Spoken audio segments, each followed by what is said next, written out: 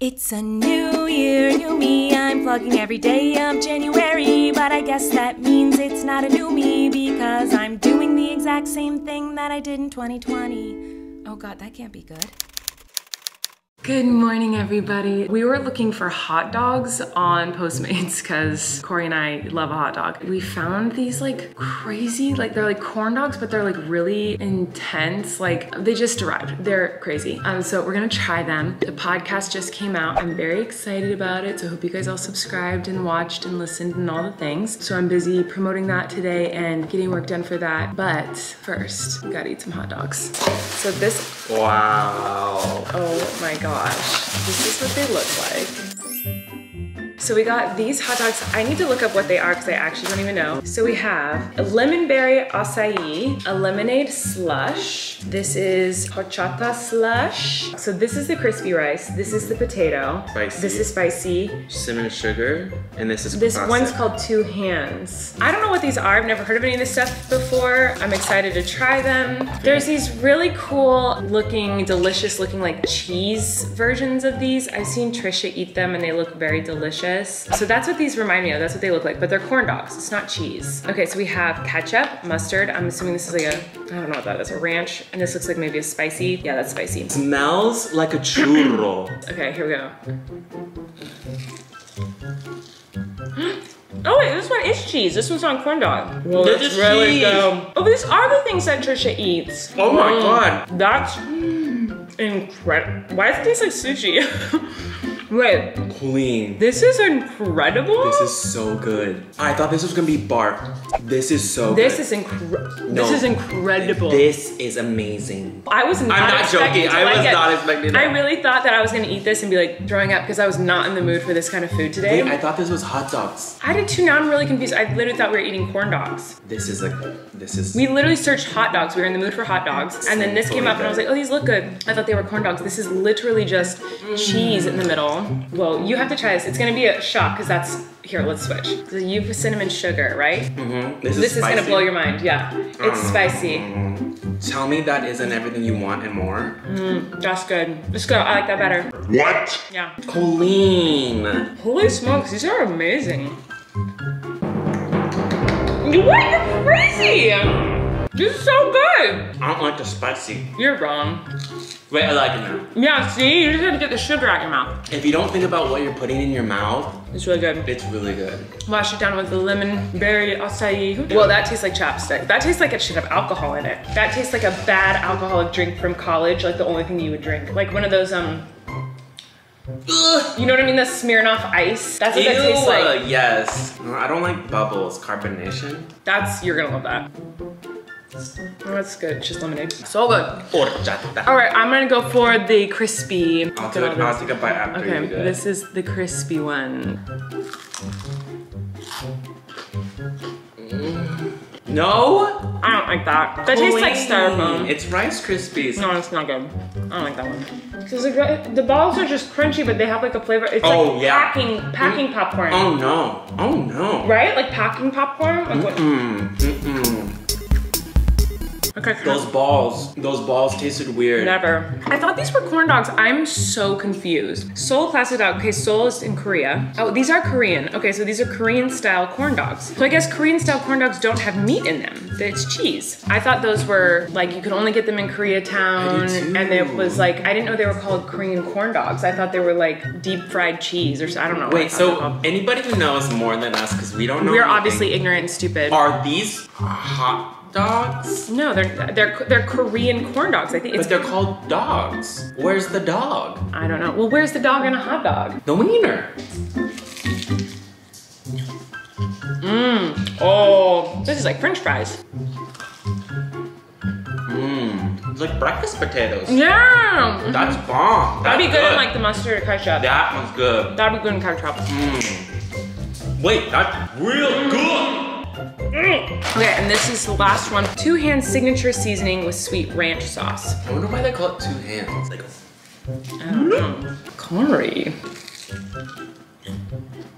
It's good. even with the ranch drizzle. It's good. That crunch is outrageous. These are so bomb. You don't like that one? What's your like favorite? I like the spicy one and the potato one the best. Just the cinnamon and sugar one. Just the plain cinnamon. That's sugar. too, but if you want a meal or like a snack, like I don't want that. You know, like it's it's really good dessert. Ooh, I don't like that ranch one. I like the potato one. Potato one and the just that plain cinnamon sugar one. I legit thought we were gonna be eating corn dogs. I was not expecting. It says they're hot dogs on a stick, but it's not a hot dog on a stick. I'm so I'm confused. I'm confused too. Is a Korean hot dog just a huge mozzarella stick? If you are Korean and you come to America and you get a corn dog, are you confused when there's meat in Meat it? inside it, Because if cheese. I went to Korea, or here even, obviously, and got a Korean corn dog, I thought there would be meat in it. Mm-hmm. And then I was surprised that there was just cheese in them. Who invented the corn dog? Sylvia Sure. Oh, Sylvia. She created it. Okay. Who created the hot dog? Charles Feltman. German, of course, I should have known that. Although I will say the hot dogs in America are once you've had any hot dog anywhere else. Because I feel like hot dogs in Europe and in Germany and like anywhere I've ever been in Europe where I've had a hot dog, it has like this like casing. It sounds weird. Oh, Around, yeah. So it's like crisp when you bite it. You Yeah. just like bite through like the like shell. I don't know how you would explain it. Yeah. Then the meat's really like moist and everyone hates. I'm explaining this in words that people would hate, but it's really, really good. And if you have a hot dog in America, it is not like that. But I will say this is a billion times better than a hot dog or a corn dog. To me, I think it's better. I would totally get this spicy one again. What? It looks like they took a bunch of hot Cheetos and They probably did. It's probably Takis. that's why I don't like. But these two are my favorite. Look at that potato yumminess. I thought potato would be bad, but it's actually They're all real good. Well, I didn't like the crispy one, but everything else was really good.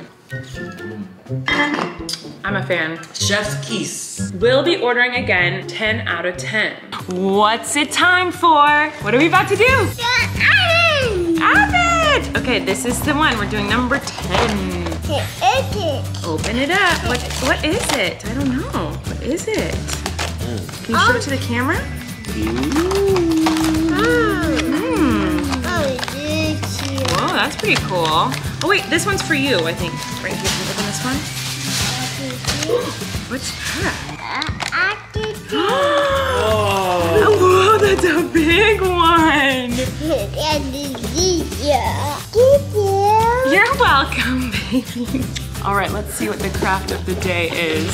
Flynn has had this for a very long time and thinks it's new, so. it's a little elf. Here is my cute craft of the day.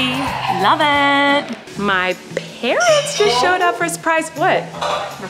Oh, something happened. I don't know. I guess it's secret. So I'm gonna go talk secrets with my mother. We're gonna have a dance party in a minute.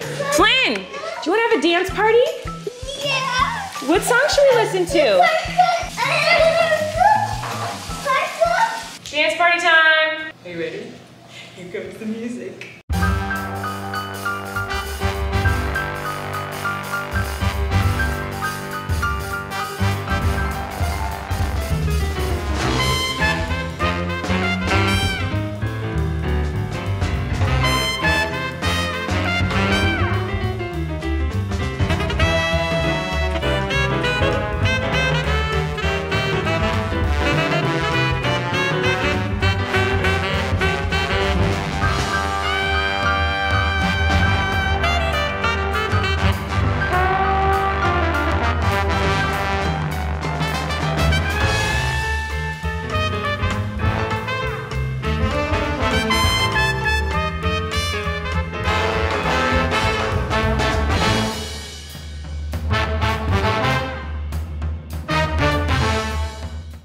Guys, so today has been a fun day with Flynn and, and my parents.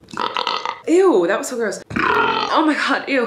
First of all, I just want to show you the most um, mom of a two-year-old thing I've ever seen. And it is this random mozzarella stick that has one bite taken out of it that is just sitting on my desk. Anyway, I'm just listening to music and man, I love music. Music is just like makes you feel so many things. And ever since I was like singing the that music the other night, I don't know if that was last night or the night before, I was singing music the other night and it made me want to go back and listen to like all my favorite old music that I used to listen to. And I just went on a journey and I want to take you guys on a journey with me. So if you on a dumb little journey with me, stay tuned and keep watching. But if you don't, good night. I'll see you guys never. See you tomorrow. You know how the drill goes. Um, but if you want to go on a little journey with me, music helps me through my emotional moments in life, as it does for a lot of people, because music's amazing. I was just listening to all this music I used to be obsessed with, and I was like, oh man, I remember when I felt this way, and I listened to this song over and over and over again. So it's gonna take you guys on a little, a little journey of me. So there was a time right before Erik and I fell in love where I was very sad. I listened to a lot of sad songs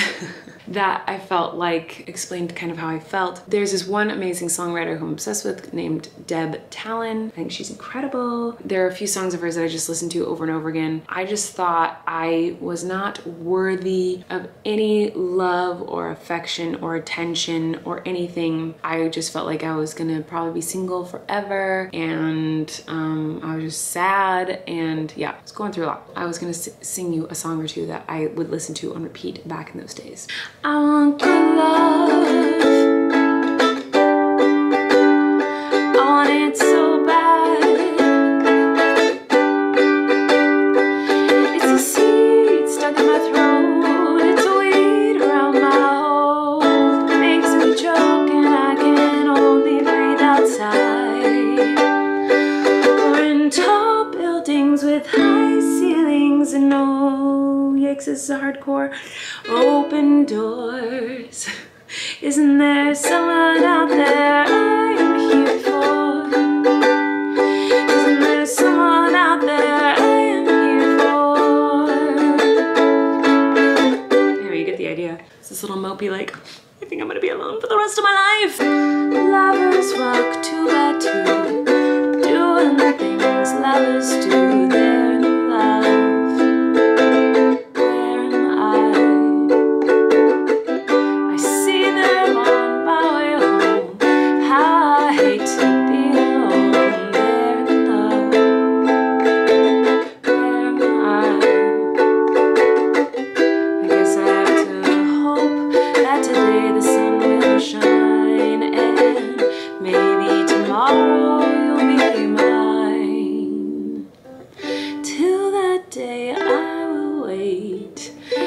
Watch the lovers on the lake. They're in love. Oh, where am I?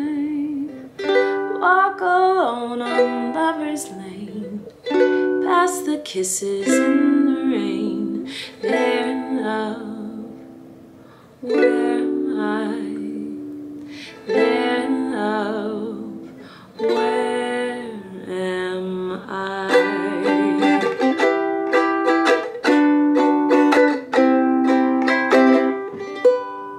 so pretty and so cute and so sad. Oh my god. This song I love because I started to get some confidence and started to like be like, I'm gonna be okay. I'm gonna be alone forever, but at least I'll be okay because I have a good life and it's gonna be okay. Um, and this song just was special to me, but then when I had Flynn, now the song means something so different to me because when I sing this or hear this song now, I think of Flynn. So cry, why not? We all do, and turn to the one you love, and smile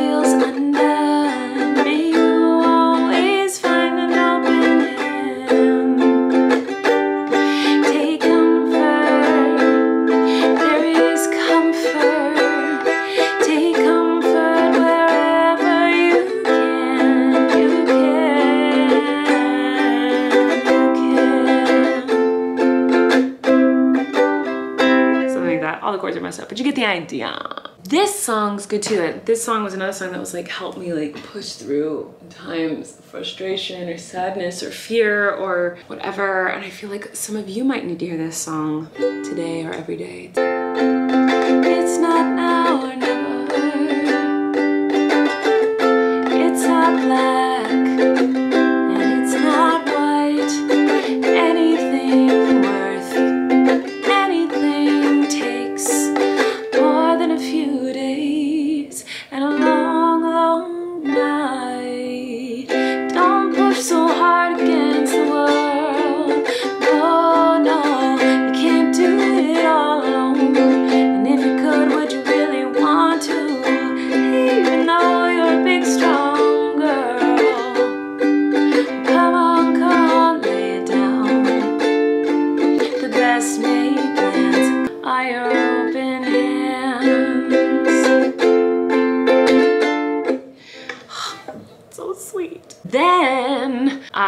You know, started to get tingles in my dingles for uh, Erik and was like, oh, you're amazing. Then I started to listen to happier music and music that never meant anything to me before meant so much and like came alive. So I'm gonna sing a couple of those little ditties and then I'm gonna go to bed.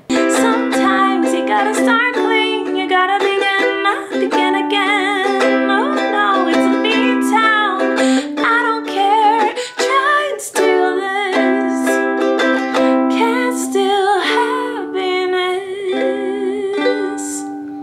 This song I just think is the cutest song in the whole freaking world. I think the lyrics are the cutest lyrics ever and perfectly describe how I feel about my husband. And I'm as fast as I can to tell you the news.